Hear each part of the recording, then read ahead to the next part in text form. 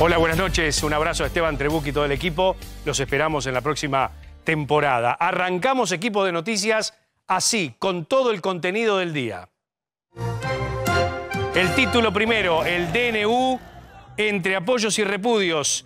Las empresas estadounidenses en Argentina, como así también AEA y la UIA, respaldaron las medidas. Mientras tanto, el DNU sigue recibiendo críticas de constitucionalistas, la UCR y los sindicalistas que preparan medidas de fuerza. En instantes, toda la información. Además, cumbre del PJ bonaerense contra el DNU. Kicillof Massa de Pedro, Máximo Kirchner, diputados, senadores e intendentes se reunieron en la sede del gobierno provincial durante tres horas. Vamos a empezar a defender al pueblo ante este ataque antidemocrático, dijo Jorge Ferraresi, el intendente de Avellaneda. El fallo por la violación grupal de Palermo, cuatro condenados, dos absueltos. Lautaro Pasotti y Ángel Ramos recibieron penas de seis años, mientras que Tomás Domínguez y Alexis Cusoni fueron condenados a un año de cárcel por abuso sexual simple de una joven de 21 años dentro de un auto en febrero de 2022. Los otros dos acusados fueron absueltos. ¿Quién paga el hotel a Milei? El presidente extendió su estadía en el Hotel Libertador mientras se realizan reformas. Permanece desde el 22 de octubre alojado junto a su hermana en el lujoso edificio donde la suite sale 350 dólares por día. Hoy le preguntaron a Manu Adorni quién se hacía cargo del gasto, pero el vocero se quedó sin palabras. ¿Quién se estaba haciendo cargo del Bueno, eso alojamiento lo del presidente? Informaremos Cuando, efectivamente el presidente, eh, que entiendo que es en, los próximos días, eh, estén terminados los arreglos y las condiciones para que el presidente pueda tomar posesión de Olivos, daremos toda la información correspondiente. A dos días de la Navidad, los regalos carísimos. Si todavía no hicieron las compras, caminar en gran parte del país es encontrarse con precios que están desubicados. Llegó la época de las fiestas. Hay que ayudar a Papá Noel. Los shopping extendieron su horario y mañana abrirán hasta las 4 de la madrugada. Fiesta navideña para todos los bolsillos en instantes.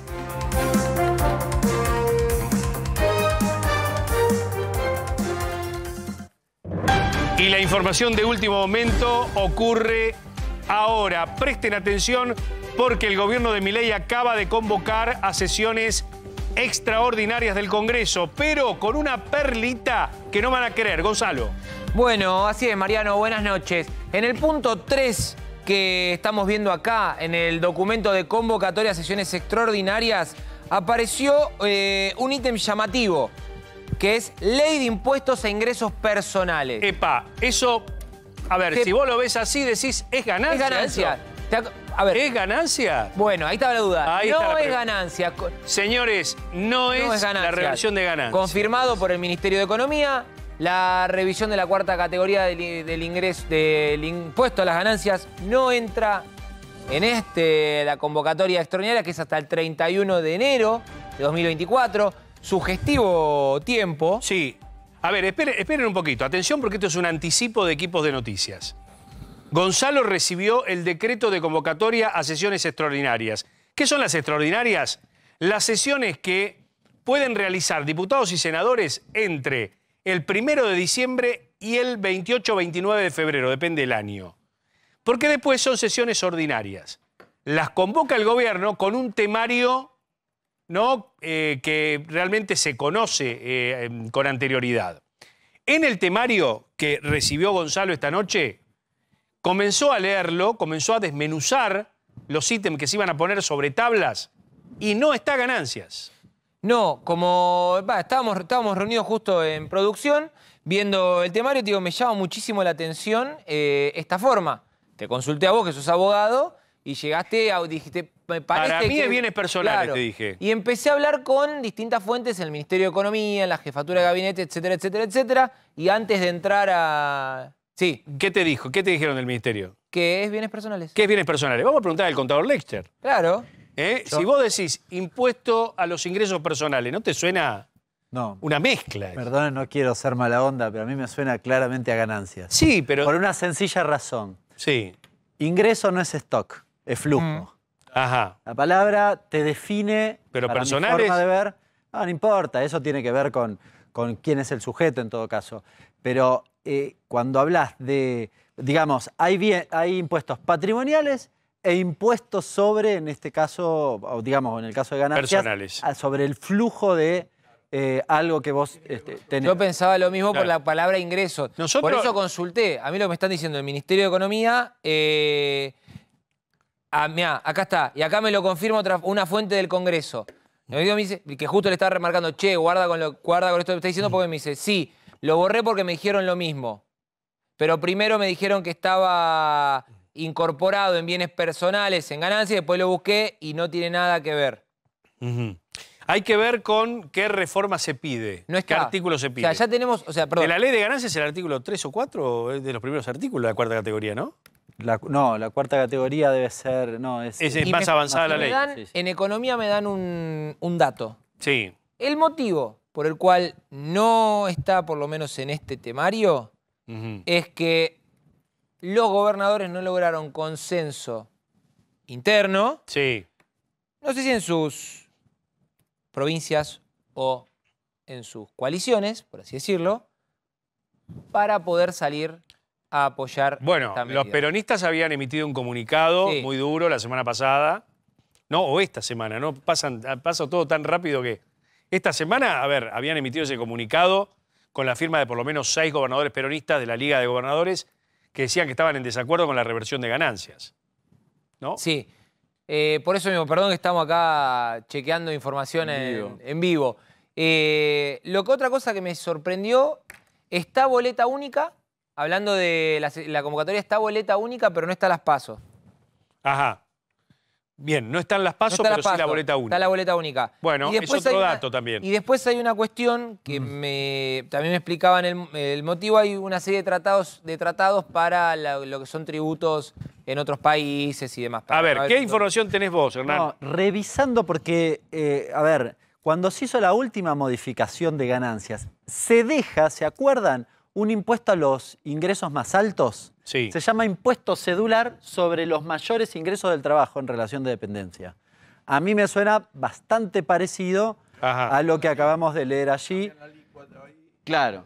Con lo cual, no, vuelve, no volverías a la, a la cuarta categoría, sino que lo que modificaría aparentemente, estamos haciendo un poco de especulación, porque la verdad es una línea, eh, lo que modificaría es impuesto cedular. Es decir, dejaría la ley que tiene y modificaría en todo caso, claro, podrías decir, son ocho salarios mínimos, por ejemplo. Claro, lo que pasa, lo que pasa es que acá también tenés que contemplar que aquel que está por encima de ese mínimo no imponible, si realmente entra en esa ventana de deducción especial que venía teniendo el impuesto a las ganancias de la cuarta categoría, por lo cual vos no saltabas a la alícuota del 35%, que me parece que es una herramienta importante con las deducciones. Sí, igual en la modificación, de nuevo.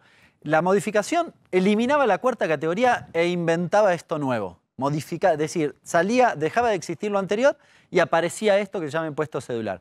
¿Qué decía? Bueno, desde los 15 salarios mínimos vos pagás. Y pagás progresivamente, y hacía una escala eh, que no se aplicaba en el, en el decreto, es decir, hasta diciembre no se aplicaba, pero sí desde enero del 24 cuando se aplicaba la ley. Ajá. ¿Se, se acuerdan, digamos, que la, la implementación de la quita de ganancias hasta fin de año era a través de un decreto que había firmado el Ejecutivo, desde el primero de enero era a través de la ley. Y la ley corregía ese formato y decía, bueno, desde los 15, después desde los 17 pagás, y entonces iba segmentando con un esquema más parecido a la vieja ley, pero actualizado. Claro. Con lo cual, a mí me da la impresión que esa tablita van a reducirle los salarios mínimos. Si yo reduzco, por ejemplo, en lugar de 15, lo llevo a 8 salarios mínimos, bueno, estoy más o menos en el millón de pesos. Ajá. Que ese sería el mínimo no imponible bruto. Claro, exactamente. Bruto. Y pagaría a partir de ese valor. A partir de ese valor. Bueno, atenti con esto porque los gremios que nuclean salarios este, realmente importantes, el caso del gremio de los bancarios, el gremio de los camioneros, por ejemplo, que tienen realmente eh, paritarias fuertes y, y salarios también fuertes, me parece que van a poner el grito en el cielo, fundamentalmente a partir de la próxima semana, cuando dicen van a marchar, ¿no? Por la inconstitucionalidad del DNI, ¿no? El 27, sí. ¿eh? La, El la del semana que 27 sí, van a, van la marcha es para presentar un, ¿cómo se dice? La marcha es para presentar el pedido en la justicia de que, de que decre- digamos, de que vaya marcha atrás con la reforma laboral que diga, que está en ese DNU, que diga que es inconstitucional. Bueno, a ver, tenemos, tenemos 40 minutos para estudiar esto. Sí, Fernando, me quería decir Porque algo. además los sindicatos tienen otras dos motivaciones. Una Sí. Tiene que ver la reforma que se hace con el tema de las obras sociales. que Se había hecho un Sí. pacto entre las obras sociales y entonces se me- Ah. no, no se cayó. Bueno, ahora, ahora, ahora lo corregimos. Ahora lo corregimos. Eh, atención, ya seguimos con el tema del DNU, ya seguimos con el tema económico, que es también lo que te importa, pero ahora tenemos información urgente en equipo de noticias. Violación grupal de Palermo. Ustedes recuerdan el caso de febrero de 2022 con una chica a bordo de un auto blanco. Seis jóvenes en cuestión que fueron detenidos en ese momento, imputados y procesados por la autoría funcional o la participación primaria del mismo delito. Violación con acceso, eh, abuso sexual con acceso carnal. La justicia, a través de un fallo, deslindó distintas responsabilidades.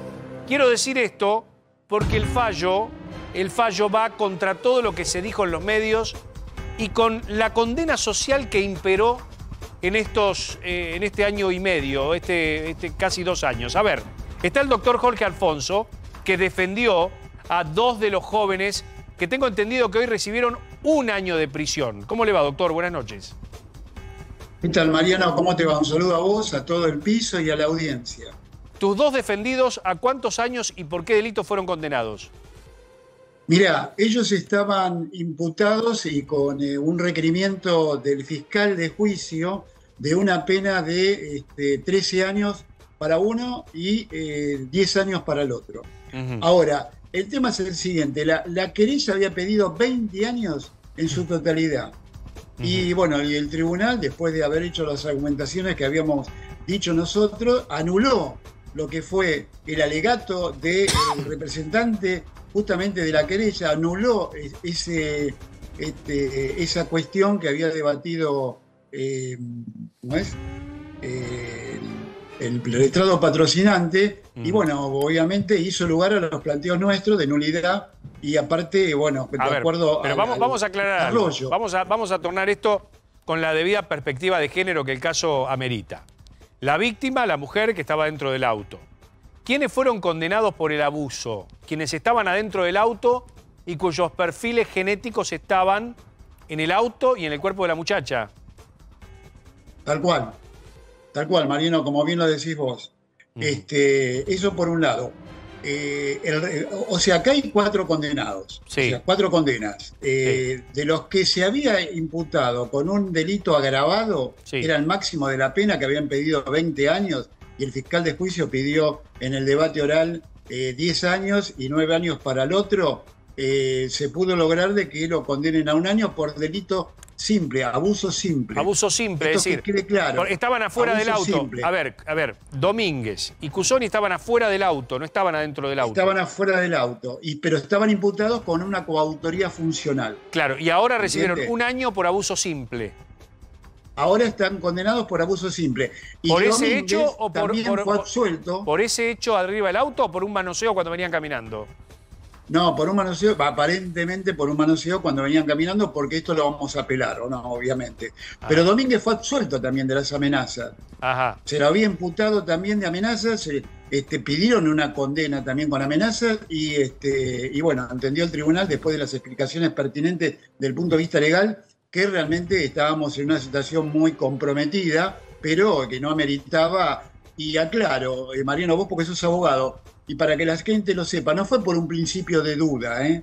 Directamente los absolvió de las amenazas y dijo, señores, acá no hay elementos objetivos y subjetivos como para poder encuadrar. El máximo que pidió la querella, que era de 20 años, una locura.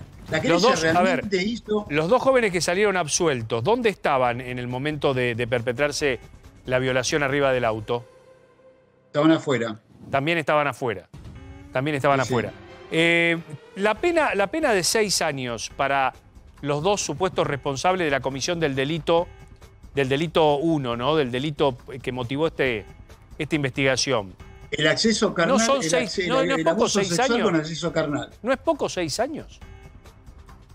Eh, no, Mariano, para, para mí el pedido de la querella de, de- de 20 años sin fundamento ninguno, y vos como abogado lo sabés, vos si vas a pedir una pena tenés que merituar la pena, tenés que motivarla, tenés que fundarla. No la fundó, él pidió para todo en forma generalizada, sin hacer una división de roles, directamente pidió 20 años para todos. Por eso el tribunal, este, al plantear la nulidad eh, justamente del alegato de, eh, el- del abogado que representaba a las víctimas, hizo lugar, este, y quiero destacar algo en esto, eh, quiero destacar algo porque es fundamental.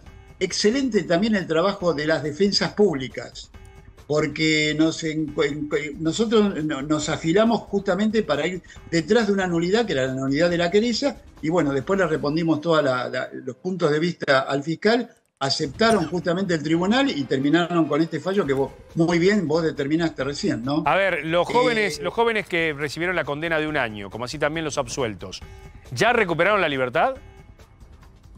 Eh, no, eh, inmediatamente el tribunal, una vez que dictó la sentencia, dictó el veredicto, porque ahora los fundamentos vienen el 29 de febrero, eh, ordenó la inmediata libertad. Aparte nosotros íbamos a pedir la inmediata libertad por el hecho de que hace dos años que estuvieron injustamente detenidos.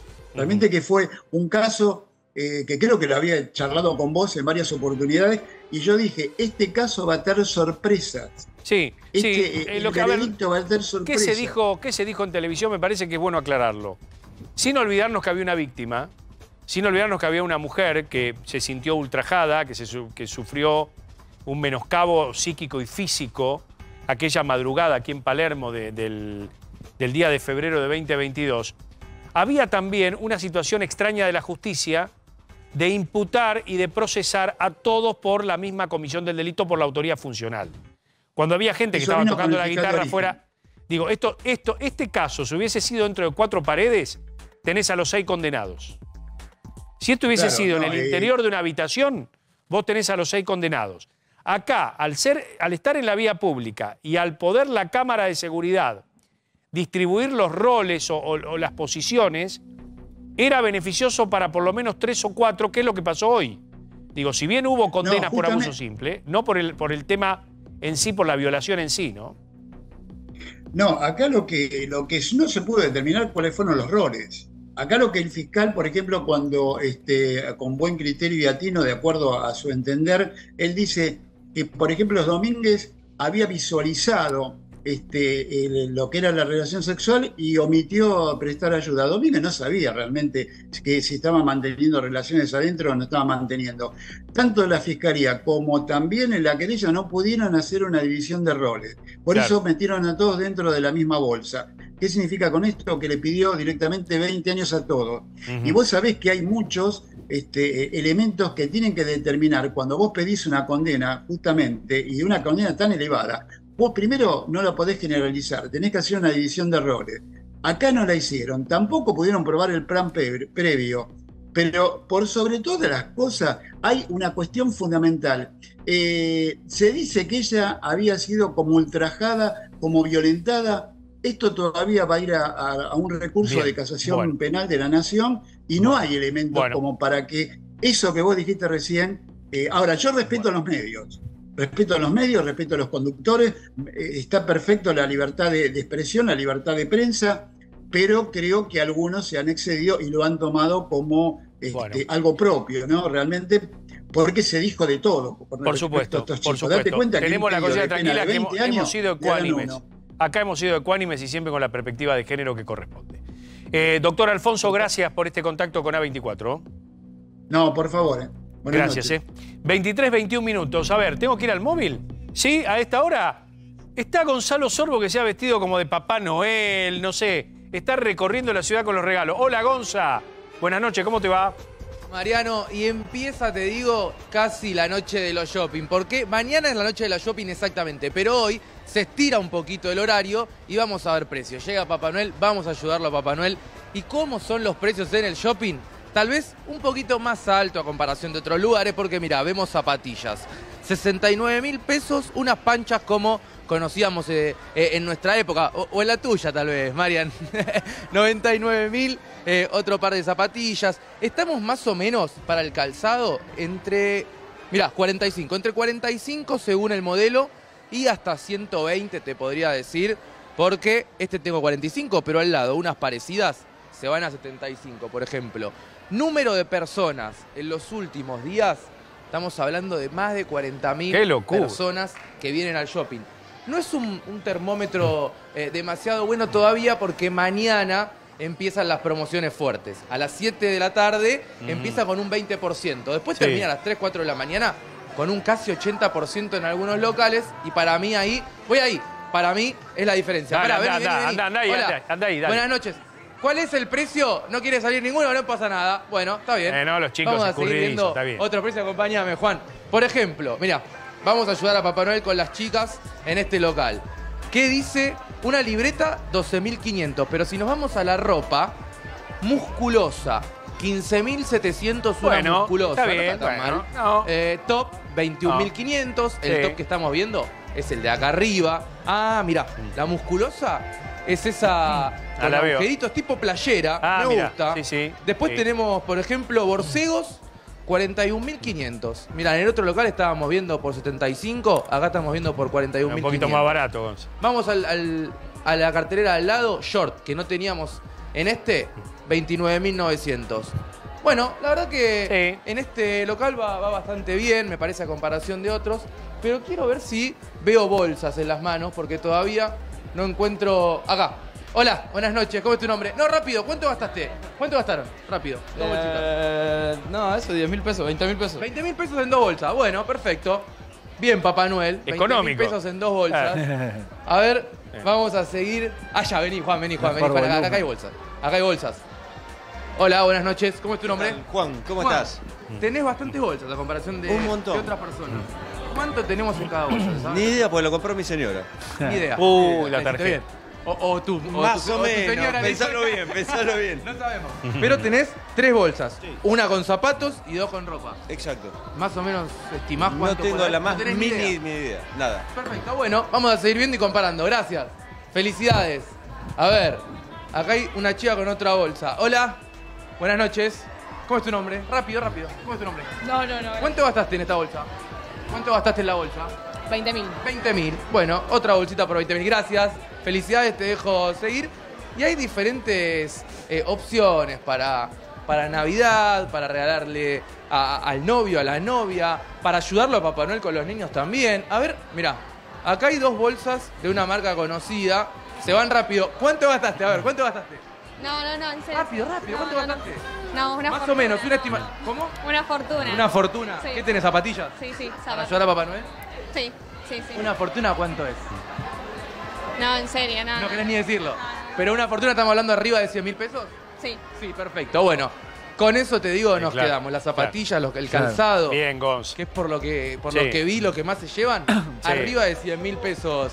Eh, Marian, Sí. mañana. Hay más promociones, de entre Dale. el 20 y el 80% según la hora. Ya vas a llegar a los 50 eh, con las zapatillas. eh, te aviso, Gonza. Gracias. Ahí estamos. Eh, Prado, un grande. Un genio. Un genio. Eh, bueno, a ver. eh, atenti, porque vamos ahora al otro Gonza. a- acá la- al amigo Prado. Eh, hubo un recorte en la Casa. Rosada. Un recorte de fin, el fin de las medialunas y los tostados. Es así, así lo comunicó el community manager, el CM, por así decirlo, del presidente. ¿Quién es el community manager? de- Iñaki Gutiérrez. un- ¿Es el jovencito ese? Ese jovencito Rubio. que está con la, Que con la lo novia. atendieron en un canal colega. Sí. Es el que atendieron en un canal colega esta noche. Sí, uno que sale por Ah. streaming, sí, sí.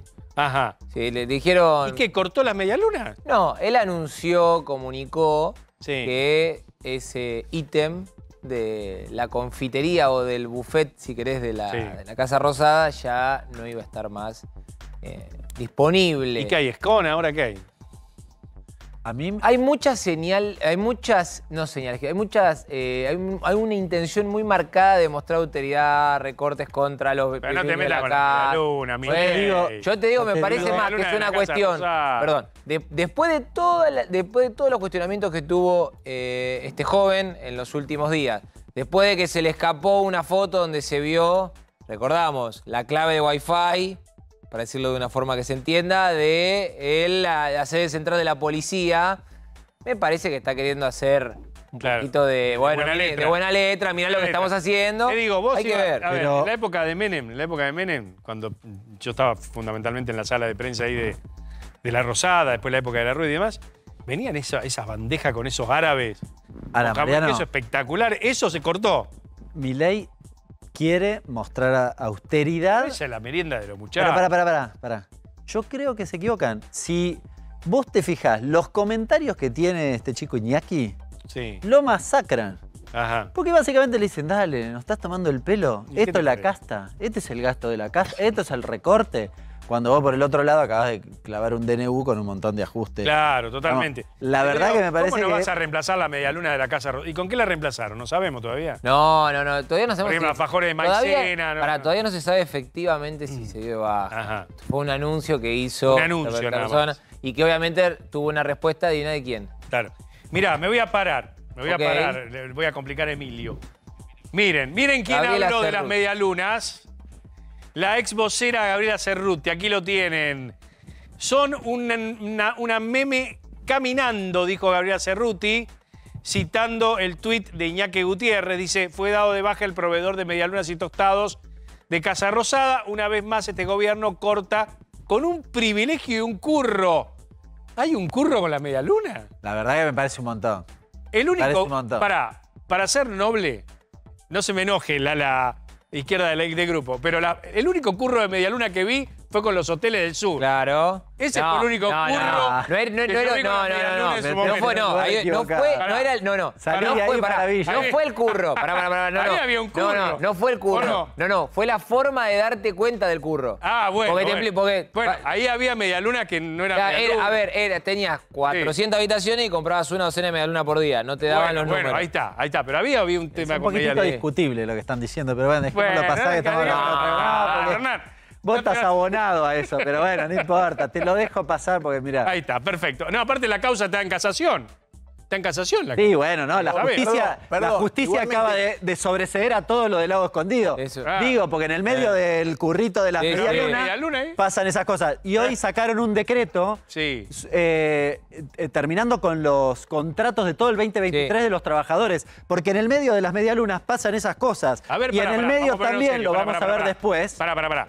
Esto, Cerruti ¿Cuántos dice, son una meme caminando. ¿Cómo ¿Cuántos- es esto de los contratos? Contame. No, digo, de nuevo, sale lo de las medialunas, Sí. pero hay un decreto que dice que desde el primero de enero los contratos de todo el 2023 no se renuevan.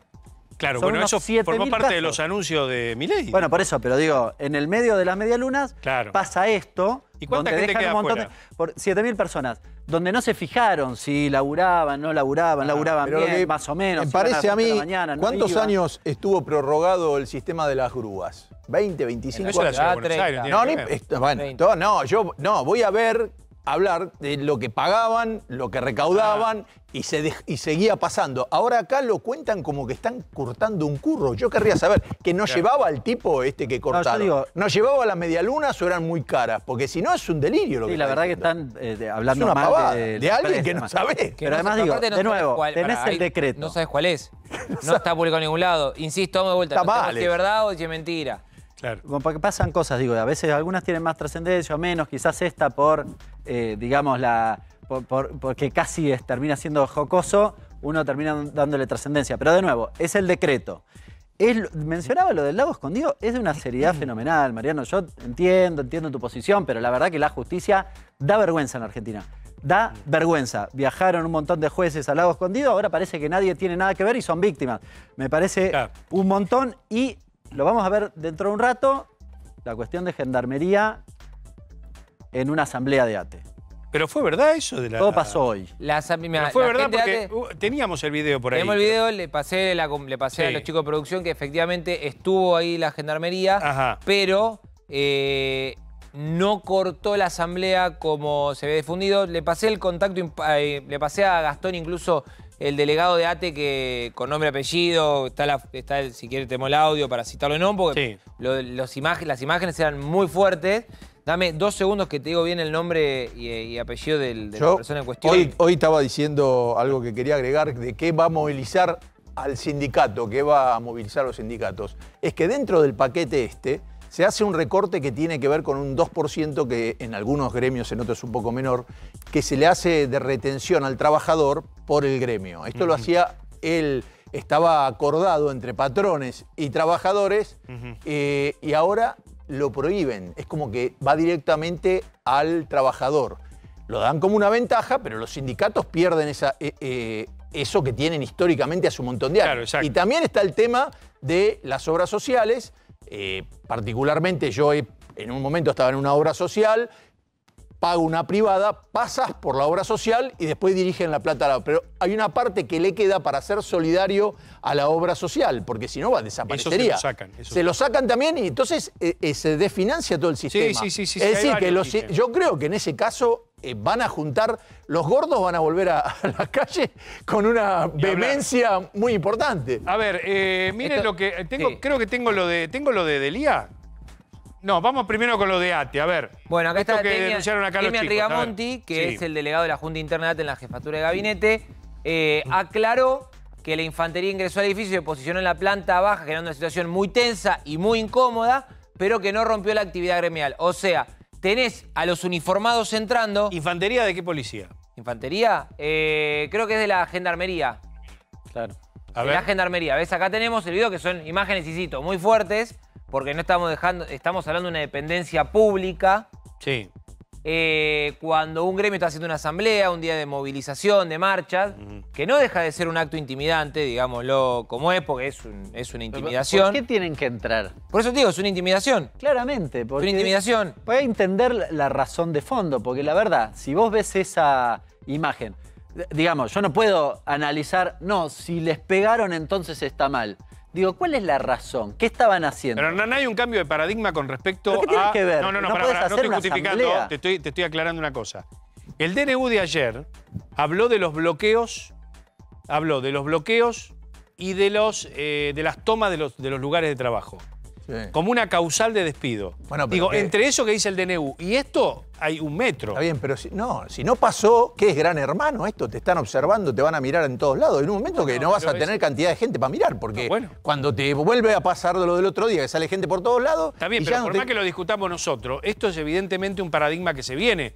A ver, esto puede pasar allí en una asamblea de ATE, que esté la gente de manera, a ver, podemos decir, complicada, que entre la policía en una dependencia pública para de alguna manera amedrentar supuestamente a, a quienes están ejerciendo el legítimo derecho de huelga o... Eso- No, no estaban en huelga, estaban en una asamblea, asamblea, ni siquiera en una huelga. o una asamblea o el derecho de estar en asamblea permanente o de, de- de- de conversar sobre cuestiones laborales.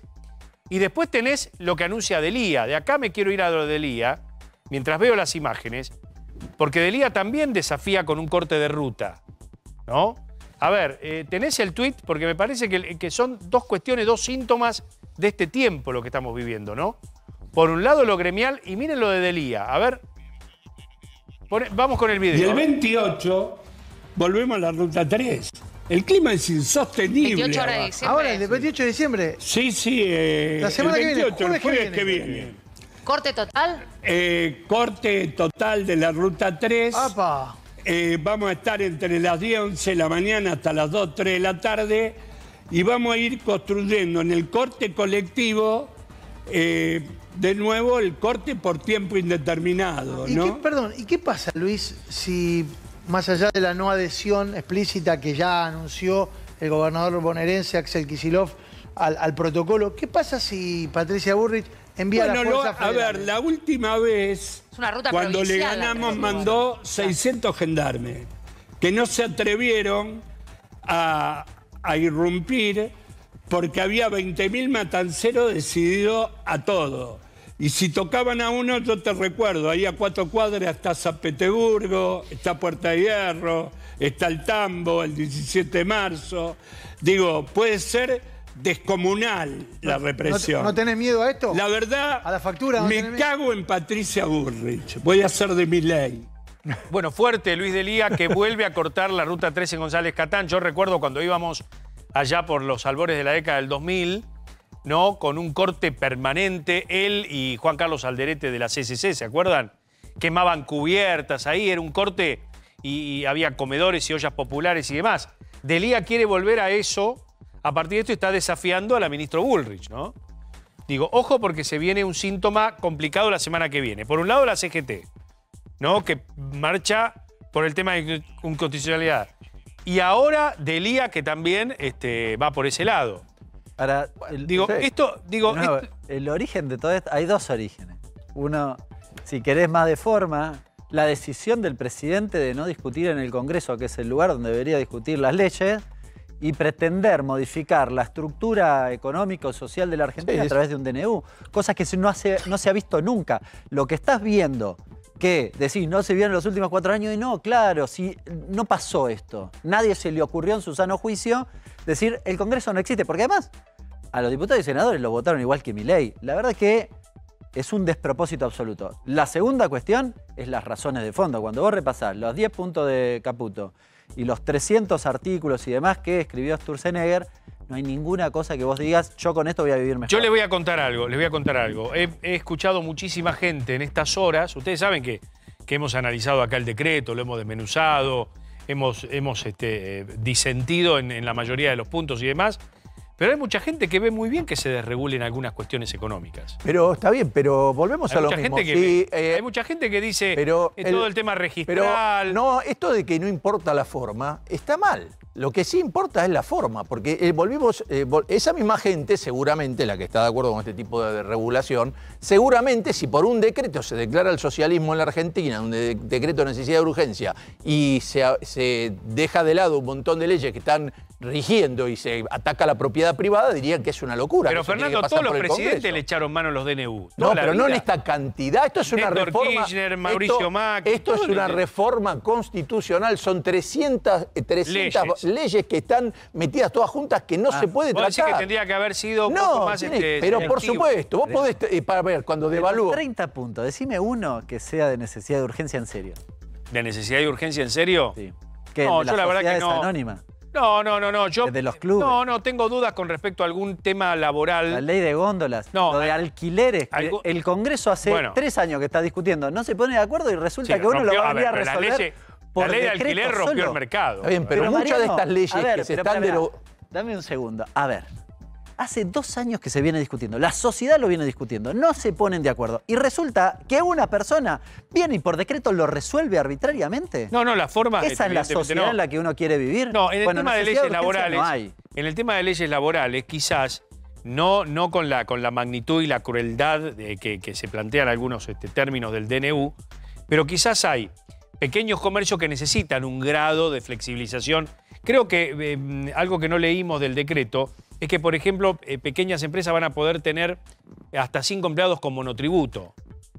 Digo, quizás, no sé si es el camino definitivo, pero sí para evitar la litigiosidad de pequeños comercios, qué sé yo. Yo, a mí me parece que vos, ¿no? no, si estás, eh, es- hay un montón de, hay acá, hay un montón de leyes que se cayeron, que se caen por este, por este DNU, que fueron, llevaron un montón de años eh, eh, insta- instalarlas, y algunas tienen revisiones de jueces, inclu- inclusive estuvo en varias de estas, estuvo Lorenzetti como revisor. Entonces no puede venir un tipo y decir, tiro 300 leyes por la ventana porque son las que a mí me gustan. ¿Quién le dio el mandato para eso? Ese mandato Sí. no tiene. ¿Saben quién habló del protocolo antipiquetes? Nicolás Maduro. ¿Quieren escucharlo? Esto dijo de mi ley. en la Argentina de Javier Milei, en que la doctrina de seguridad es una doctrina traída de los manuales represivos de Israel, de Estados Unidos, para reprimir y acabar al pueblo, para someter al pueblo a los paquetes neoliberales, para entregar la soberanía de los países y acallar la voz de los pueblos, como está pasando hoy en Argentina. Ahí está, ¿eh? ahí estamos. Eh, cuando se manifestaban en, Vene- en Venezuela, miren lo que pasaba también, ¿eh? porque Maduro habla, pero bueno, miren lo que pasaba. A ver. ¿La tengo las imágenes? Sí, esto fue en Ah, 2014. eh, no, mira. No me acuerdo si fue 2014 o Cuando 2017. atropellaron a la gente. Es terrible. Sí. Digo, critica a Bullrich, pero mira lo que hacía Maduro. Digo, mm, brutal. Sí, recordemos que Michelle Bachelet, cuando era la alta comisionada en Derechos Humanos de la ONU, presentó Sí. un informe eh, lapidario donde sostenía que había más de 2.000 muertes a manos de fuerzas de seguridad que no tenían explicación y Sí. demás, y se generó un debate muy fuerte en Argentina, sobre todo porque el gobierno decidió no Sí, acompañar. Maduro, Igual- Maduro no tiene autoridad La moral para es nada. bueno, que pero eso poner a Maduro, que no importa. Yo lo, que te digo, Claro, que el que, el que sí me parece más parecido, me parece más parecido eh, el, el protocolo este antipiquete que está, eh, que quiere proponer Bullrich, se parece bastante al tema de lo que pasó con Piñera en Chile. Cuando empezó la gente a salir mucho a la calle, empezó la represión de los carabineros, pero hay un momento en que cada vez salía más gente y cada vez y encima tiraban a, a la altura de los ojos, que hay un y todo, montón, y hubo un montón de, de gente que quedó ciega porque tiraban con balas de goma, pero a la, altura de los ojos, y hay mucha gente, no sé cómo lo llaman allá, pero hay muchos que han perdido más un ojo y algunos los dos. Entonces, eso en Chile no estábamos acostumbrados a ver eso porque era como una sociedad que entendía que el orden era así, los carabineros son repesados. Bueno, hay un momento que no lo pudo controlar más. Pineda tuvo que decir, bueno, vámonos de Sí, acá porque sí, esa fue una, fue una, Entonces, a ver, a una eso- revolución. ese modelo, la verdad, va. Fue una revolución en un país que no tiene educación La- pública, que, no, que tenía problemas con el Por tema eso de me las parece que ese modelo no, dio, no está dando resultados. No, no dio resultados. Ni- no, por ni- no. supuesto. Igual la constitución, digo, es, pues justo es una cuestión de lo me parece viene al caso, a la- a la- sobre todo lo que dice Hernández de las discusiones. Fíjate lo que pasó en Chile. Mm. Tuviste eh, las manifestaciones que generaron al- que Boric básicamente se elija como un referente eh, no solamente de la política, digamos, universitaria, por así decirlo, joven, sino Sí. también termina siendo Sí. presidente, pero hace dos años, tres años que Chile no, que no logra, perdón, dos años que no logra cumplir con su promesa de la nueva constitución por esto mismo. O sea, hay. Está bien, pero no sacó un decreto de DNU y dijo, Claro. "Aproba todo". No, Agarró, están discutiendo los chilenos, ganó la oposición de nuevo en la discusión. Entonces, bueno, lo están discutiendo, no hacen un cambio Mm. porque se le ocurre a uno y firma. Bueno, después seguimos discutiendo. Vamos a volver a los precios porque me parece que la gente está sensibilizada con esto. Se viene la Nochebuena, se viene la ¿Vos Navidad. ya compraste todos los regalos? Eh, compramos acá en Buenos Aires, sí, compró Papá no Noel. compres de a dos, No, no, no, compró Papá no. Noel. Hicimos la cartita como corresponde. No, hay No, chicos yo te- los adultos le compramos regalos a los adultos. Claro, claro. No, lo- Después a los chicos se encarga encarga Papá Noel. Yo lo único que te digo, yo lo único que te digo que terminé comprando la carne en una cadena de supermercado porque era más barata que la carnicería. ¿Cuánto la pagó? ¿El kilo? La pagué más barato que en la carnicería. ¿Pero cuánto pagó el kilo? Dígame. La pagué alrededor de 7 mil pesos el kilo. Mire, yo por ese precio, hoy hice una gran compra, muy bien, me compré una horma de un kilo y medio de queso brie. Mira qué bien. Un kilo y medio así, una cajita, viene. Un kilo y ¿a medio de queso brie. lo- ah, lo pido, lo pido. Y me hacen el 10% porque lo compro con la horma completa. Mira que, mira que Y me salió el precio que usted pagó la carne. Un kilo de queso está más ba- usted. de- está barato el brie Bueno, con respecto ¿sabe a la dónde hay carne. que ir a Muy comprar barato. carne? 8 mil pesos el kilo. Está muy bueno el tip que nos da, pero ¿sabes dónde hay que ir a comprar carne? cero tips. Cero tips. Cero tips. Cero Cero tips. Hay un municipio bonaerense donde la carne va a estar barata. Sí, señor. Bueno, vamos con eso que Dale. realmente es muy... Usted, bueno, debe haber hecho la Ruta 2 infinidad de veces. Sí, claro, por supuesto. Bueno, uno de los pueblos que, que está sobre la Ruta 2 en el kilómetro 185 es Castelli. Y es un pueblo de 8.200 habitantes que tiene a Francisco Echarren Sí. como intendente. Bueno, este hombre, ese, es un lugar donde además los asados son habituales porque siempre es, un, eh, es un- una zona agrícola-ganadera. ¿no? Sí, Y- aparte ahí nomás en Dolores tenés todos los costillares, viste, los Bien, ¿qué ponen? Bueno, ¿qué hizo el intendente? Sí. Dijo, no va a haber unas navidades tristes y gente que no pueda comprar Ajá. carne y vamos a lograr que el kilo de asado se venda a 2.900 pesos. Epa, mira qué barato. Lo puso a 2.900 pesos, 2.000 pesos menos que lo que están ofreciendo los frigoríficos, visto que se asociaron para decir, bueno, vamos a darle una alegría a la gente. Bueno, ¿qué hicieron? Eh, compró los animales, los mandó faenar a- a- ahí a- con, con un- empresas que están en la zona, que le- se lo descontaron de impuestos. Sí. Y bueno, y después lo repartieron entre las carnicerías que se sumaron porque además estaban con bajas ventas. Claro. Y dijo un par de frases bastante eh, enojosas con, con Milei y dijo, como intendente, desde el punto de vista humano uno no se puede quedar con los brazos cruzados cuando la gente empieza a sufrir de esta manera, se destroza el país y se joroba a los trabajadores. Así son, se producen situaciones injustas. Entonces dijo que la libertad de mercado se vaya al, Al, y carajo. mandó al carajo. Mira, eh, tenés ahí el banner de, de Charren de Castelli porque los precios están buenos, más allá del asado. ¿Lo tenés? Vamos a, ¿Sabés vamos a ver si lo vemos. es lo que más conoce? Ahora que me voy a parar, así vemos lo- ¿Sabés los por qué cortes. es muy conocido Sí. esa intendencia, esa localidad? Sí. Porque tiene un semáforo, que, un semáforo, perdón, un radar vigía que siempre te engancha con la multa en la Sí. ruta 2. También me acuerdo, me acuerdo que Charren estuvo también aliado a Vidal, después volvió al peronismo y demás, me acuerdo. Ah, no sabía. Sí, eh, eh, No sabía. googleenlo. Pero Echarren es un tipo bastante. mm, eh, Pero va al frente, parece, dice. Bastante pragmático. Pragmático, sí. Eh, a ver, ¿tenés el, el banner este? Ahí está. Bueno, saben ustedes que eh, hay varios este, cortes, hay varios cortes. Mira qué rico los chinchulines esto. ¿No? Ahí está. ¿El mondongo les gusta? Yo soy vegetariano. Para del- el verano. del Ah, qué 94, rico, pero me gustaba cuando comía. Buenísimo, la buceca de mondongo, buenísimo. Sí, a Hernán le gusta. Claro, soy, de, Sí, Hernán este. soy del conurbano. Usted sabe que ahora en la Ahí ruta tenemos la dice que. dice- está. ahí está. Acá ¿Ve? está. El asado 2900, Eh, vacío tenés. 2900. El matambre 4500. Está bien, Sí. está por debajo de la par de lo que vende. Y ¿Se dice- justifica viajar hasta allá para comprar? No, pero el que pasa creo que algunos se Claro, desvía. por ¿eh? ¿se justifica el viaje? No sé, Te viste que el día, Pará, pasar el día. Claro, viste que el mercado Pará. central tenía los tours, que salían, salían, la- salían las combi de Buenos Pará, Aires y si yo soy turista Sí. y me voy de vacaciones a Mar del Plata este fin de semana, Parás Eh. un ratito. Igual, voy con la helatodo esa que tengo yo, que Eh, olvidá. la helatodo mía Pero- tiene dos metros por dos metros. la mía. Carnicero te va, te va a decir, ¿Sabés vos no sos de acá, ¿Eh? maestro. Te va a pedir el DNI. ¿de dónde Decís, a ver, con mi el cara. DNI, a ver, Con. Bueno, bueno, los ¿De qué 8000 barrio sos? ¿Viste? 8200 Mirá, no me conocen la cara. torto. 4.500 el cuadril, el bife de cuadril, que también a la parrilla va bárbaro. Eh, 3.900 la tapa de asado, que puede ser para horno también. El roast beef, que es este, el corte que puede ser también para algún tipo de, de- de carne al horno o bien para carne picada, 3.500. Y la aguja, que es un corte muy popular. La aguja es la parte esa de la costeleta, que es la, parte un poco más barata, 2.900. al vacío muy barato. El vacío está barato. Todo, pero el vacío me parece que es. Claro, hay que sacarle la piel. Yo esa. creo que esas, e- ese tipo de, Sí. de ideas se va a empezar cuando, si esto se consolida así como Sí. va a venir difícil y complicado, me parece que en algunas ferias van a hacer esto, van a Sí, tener que dar la- algunos cortes y algunos platos o algunos productos que se van a ofrecer a un precio de, como Sí. decir, una canasta básica de urgencia. Sí, ahí tenés que estar de acuerdo con el SENASA, porque vos no podés fainar.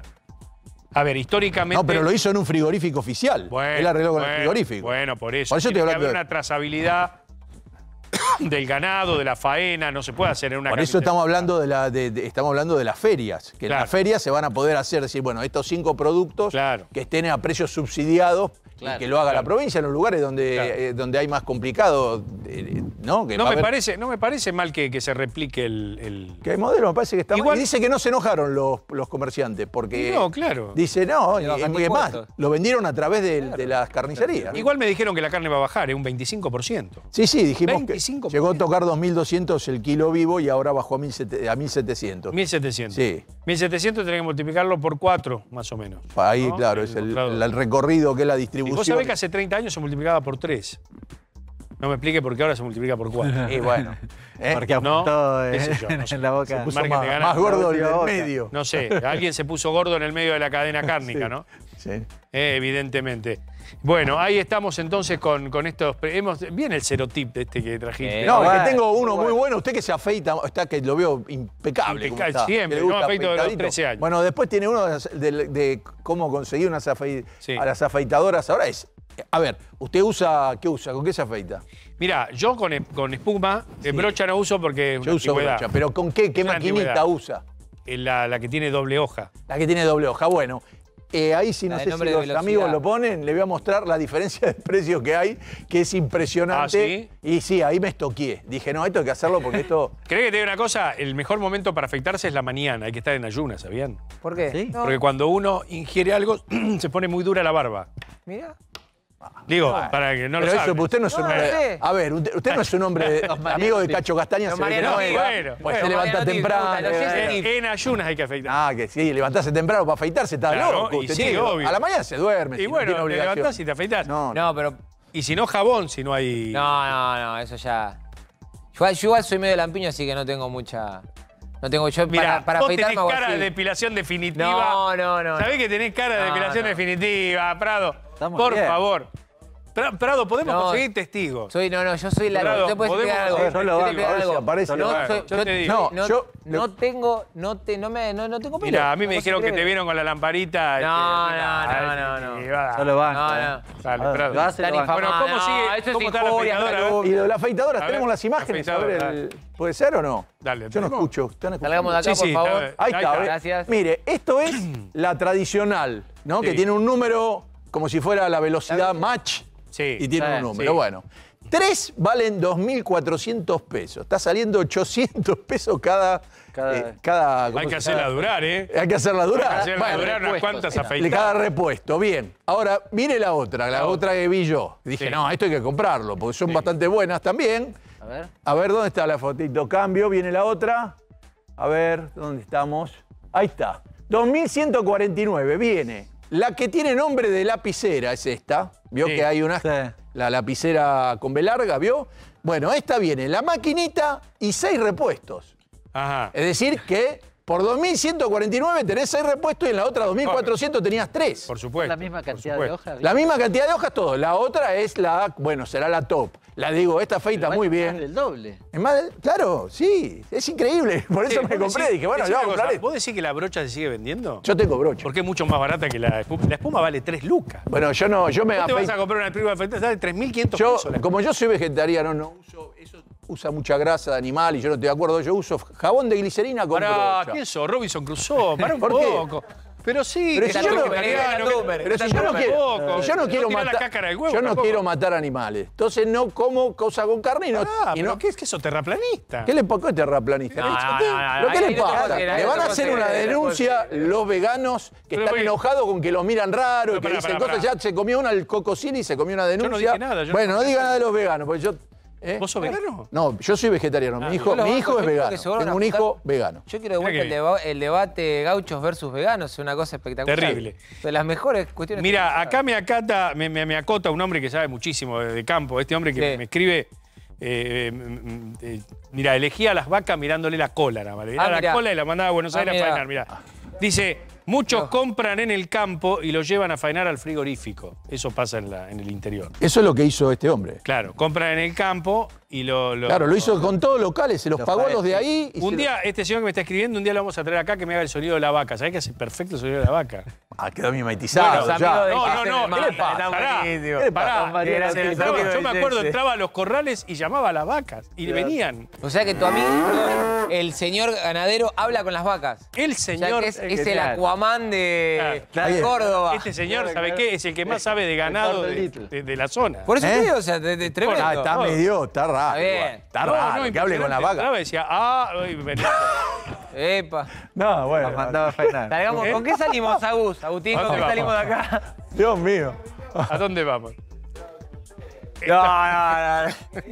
Bueno, eh, 23.4 de temperatura. Sí. ¿A dónde voy? ¿A Kicillof? Aquí sí, lo bueno. Vamos, Hoy hubo una dale. reunión muy importante en la gobernación de la provincia de Buenos Aires, Mariano. Estuvo Sí. Axel Kisilov, estuvo Sergio Más, estuvo Guado de Pedro, estuvo Julián Di Tulio, estuvo Máximo Kirchner, intendentes, diputados, senadores, legisladores provinciales, para empezar a diagramar lo que va a ser la postura de Unión por la Patria y del peronismo bonaerense particularmente Mm. con respecto a las últimas medidas de la Casa Rosada, incluido el decretazo, Sí. cómo se va a llevar adelante en el, con- en el Congreso el debate parlamentario por sí o por no, Mm. y eh, además cómo se va a empezar a articular en lo que es la reconstrucción del espacio después de lo que fue la, la derrota en el balotaje. Lo que llama la atención, y por eso es, es potente la foto, es el nivel de convocatoria. ¿Cuánto hace que no veía juntos a Kisilov, Guado de Pedro, Máximo Kirchner y. Sergio Massa? Claro. Claro, estaban todos juntos. Y los agregarte- intendentes, a ver, los intendentes Sí. son toda Unión por la Patria, ¿no? Sí, tenés acá. y tenés ahí, hay tres, hay tres que tuvieron una preponderancia en este, en este encuentro, que son el núcleo de poder, por así decirlo, de Kisilov, que es Seco de Ensenada, Ferraresi de Avellaneda y vía Verónica Magario estuvo, estaba el intendente de La Matanza, Espinosa, que son los tres jefes comunales de mejor relación hoy por hoy con el gobernador. De 135 municipios que tiene la provincia de Buenos Aires, ¿cuánto gobierna el peronismo? ¿Se acuerdan? El No. cálculo exacto te lo debo, pero te puedo decir que en el, en el conurbano, donde está el- la, la mayor base territorial Primero, segundo hoy y tercer hoy, cordón. eh, han recuperado intendencias como fue el caso de, Lanús, La Lanús, Plata, de Lanús. Claro. Entonces, ha habido una... No, eh, y lo llamativo inclusive es que lugares del campo, eh, como lugares que tienen mucha... No, y, y Bahía Blanca. Azul, Bahía Blanca, Blanca. Bahía Blanca, Bahía Blanca, raro, Bahía eh, Blanca, la Barría. tenés La razón, Barría. Tenés razón, la barría, sí, sí, sí, sí. Sí, sí, sí, sí. Bueno, que ahí estamos entonces, sí. planteaba, plantearon en la reunión, eh, Kichilov fue muy duro con el plan de, económico de Milei. Básicamente planteó, planteó plan de estabilización clásico, sin anestesia, sin compensaciones. Y hubo bastante coincidencia, diría Mariano, eh, respecto sobre todo de los jefes comunales, de la necesidad de hacer cosas en el territorio o de que situaciones en el territorio venían generando tensión, digamos, si querés, de la comunidad y demás, y que de abajo hacia arriba se plantearía, este, digamos, el reclamo o los cuestionamientos al DNU y en general a las políticas de Milei. Bueno, hay que ver si se pliegan acá sectores radicales. No, hay que ver si Sí, se yo pliegan. creo- Acuerdo, mira, hay muchísimas incidencias radicales. Yo en el- creo igualmente que la mayoría de las provincias, esto lo voy a decir a título personal, no es que, que Sí. está eh, chequeado ni nada, pero yo le aseguro que todas las provincias, no sabiendo cómo viene este flujo de dinero del gobierno central hacia las provincias, todas las provincias tienen que estar viendo la posibilidad de las que tienen permiso para generar su propia moneda, ver si no tienen que pagar una parte de los salarios estatales a la larga con lo que eran antes los patacones, los lecop y todo eso. Ah. Porque lo tienen que estudiar porque eso no lo puedes hacer en cinco minutos. Por supuesto, Son por supuesto. pocas, Bueno, sa- sacando el caso de la provincia de Buenos Aires, que es particular porque recibe mucho menos del Estado Nacional de lo que aporta. El resto de las provincias en los últimos años han tendido a ir hacia un equilibrio fiscal. Hay algunas que no, son las que más problemas tienen. Por ejemplo, hay Chubut, es una provincia que tiene Claro, una cuestión muy grande con eso. Y También está pasando lo mismo en, en- en Neuquén, eh, también está pasando lo mismo en una, región Santa de Cruz Cuyo, tenía Santa. Cruz también. Bien. Entonces, esos son los casos que lo que dice Bueno, nos estamos despidiendo, eh, deseándoles a ustedes una feliz Navidad, feliz Nochebuena para el próximo domingo. Queremos contarles que equipo de noticias, en esta programación de verano que ya arranca en, en América y en A24, vamos a estar de 21 a 24. Sí. El lunes vamos a ir de 21 a 23 por la excepcionalidad de la Navidad, pero durante toda la próxima semana de 21 a 24. Tres horas es una motosierra, equipo Sí, de tal cual. Yo los Una acompaño el lunes y total. después- Es una motosierra. Es decir, tres horas. la época. Exacto, tres horas de esta discusión abierta, variopinta y con todas las voces, ¿eh? porque acá pensamos todo diferente. Eh, que tengan un excelente fin de semana. Muchachos, felicidades. ¿eh? Gracias. para Gracias vos. y buenas vacaciones. Prado. Gracias. Igual el lunes nos vemos. ¿eh? El lunes nos vemos. Sí, el lunes Buenísimo. Bueno, trae pan dulce, trae pan dulce. Gracias por habernos acompañado en A24 y por informarse con nosotros.